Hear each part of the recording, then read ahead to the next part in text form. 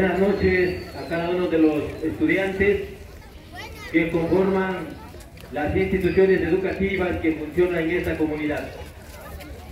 De la misma manera, a la señorita América con sus acompañantes, las escoltas de las diferentes instituciones, de la autoridad municipal, autoridad comunal de esta comunidad.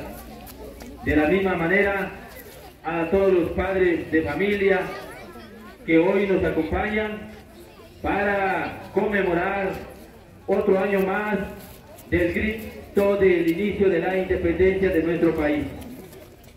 Para tal motivo, tenemos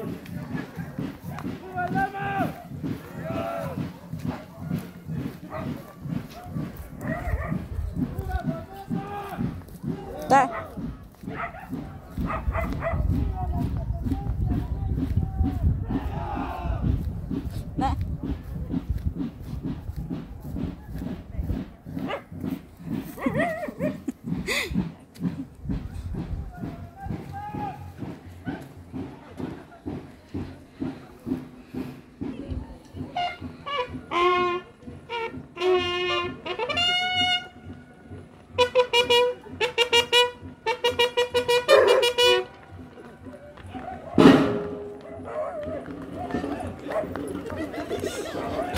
Ah!